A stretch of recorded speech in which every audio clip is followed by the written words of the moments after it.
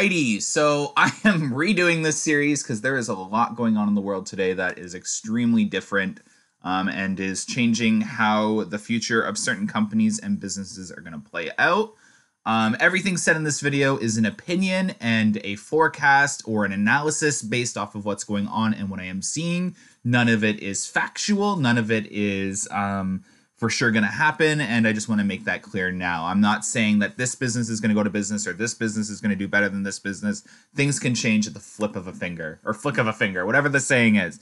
I do want to take some time, though, at the beginning of this video to say a huge thank you to anyone that is still working um, today out there, feeding people, giving people food, taking care of people, um, especially the medical professionals out there, and anyone that is helping anyone um, in your neighborhood. A huge thank you to just anyone who is still putting themselves in at I guess in danger or at risk uh, to help other people have access to food, groceries, um, and medical attention. So a huge thank you. Honestly, I really do mean that.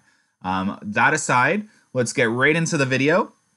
Um, a lot has changed. So as you saw, we went through about a week and a half to two weeks of the stock market completely crashing and the stocks are starting to do better. And there's a reason to that. The US is definitely uh, taking some action to help um, implement strategies to help investors feel more comfortable in investing in companies. And the stock prices just got so low that a lot of other people, including myself, felt a little more comfortable um, in buying stocks that are like $10, $12, $15. Um, and uh, knowing that they're eventually going to grow in about a year, a year and a half, or two years from now. So a couple of factors, and there's definitely more factors on top of that as to why the stock market's growing and why you should invest now is the time. Definitely, if you have extra money that you have laying around or savings, throw a couple of it, uh, throw a bit of it into the stock market, into a company that you have a lot of trust in, and uh, maybe even talk to a financial advisor or an investor and get some opinions around uh, just even your friends or family. Um, but that aside, things are going to change. Stock prices are going to go up. They're not going to go up they're not going to continue to climb back to what they were um, before the stock market crash due to um, that who shall not be named. Um, but yeah, things in terms of the stock market, I feel very comfortable with Cedar Fair um, and their growth. I think we're going to stay around this ball field for quite some time. I don't think it's going to go up any further. I don't think we're going to get back into the 40s anytime soon. But if we do, hey, I'll be surprised and shocked. Um, the sooner the better for me. But nonetheless, what is the future of Cedar Fair? So, with what's going on, um, I I don't want to go. I don't want to say too much of what I think's going to happen in terms of when they're going to open. I don't want to scare anyone, and I don't want to upset anyone anymore. I will say when it comes to Cedar Fair, I do have very definitive answers on when they're going to open up, and my sources that I have for Cedar Fair are very reliable, and for Six Flags as well. That being said, I do not have a date yet, so it is still obviously mid May based off of what Cedar Fair themselves have announced, and that is what you are going to listen to, and that is what we're going to assume. So mid May is the target opening date that we have for Cedar Fair. And if we take what the President of the United States has recently said, we are going to assume that mid May is a very reasonable assumption as to when the target, keyword target, of opening up the economy and businesses again. So, obviously, America has very different strategies to other countries out there. They're aiming for about 15 days of quarantine, and then everything will open up after that. Um, that is very different to what we are doing over here in Canada. I'm not going to say which one's better in this video. I'm going to keep my political views out of these videos.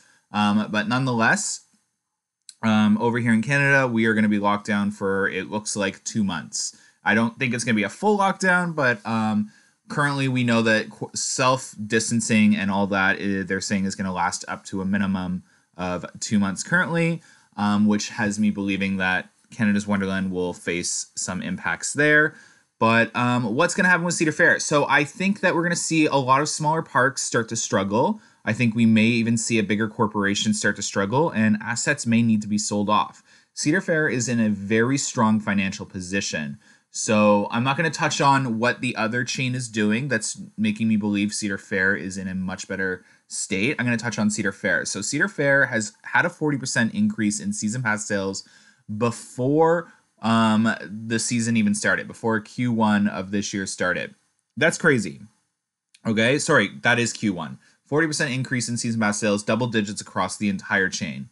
So they have money. They have money already of people who committed to coming to Cedar Fair, a Cedar Fair Park in the 2020 season. And we know that Six Flags had a decline in sales in terms of season passes and memberships. So Cedar Fair was already at an uh, advantage going into the 2020 season. Um, and we know that moving forward, they have money that they have set aside to purchase parks down the road. That is emergency money or money that you could say to purchase parks. And I think that opportunity is going to come a lot sooner if this self quarantine and this self isolation continues to go into July and August. If we lose the 2020 season, you're going to see those small independent chains um, struggle a little more than I was originally anticipating. And I think we may even see one of the bigger chains struggling uh, to survive. And there are definitely signs of that uh, arising right now. And I'm going to touch on that in tomorrow's video.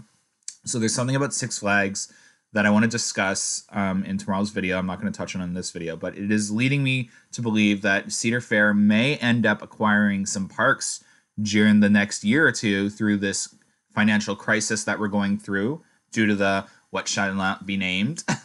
but I definitely see Cedar Fair's portfolio growing in the next two years because of this. I, I honestly do.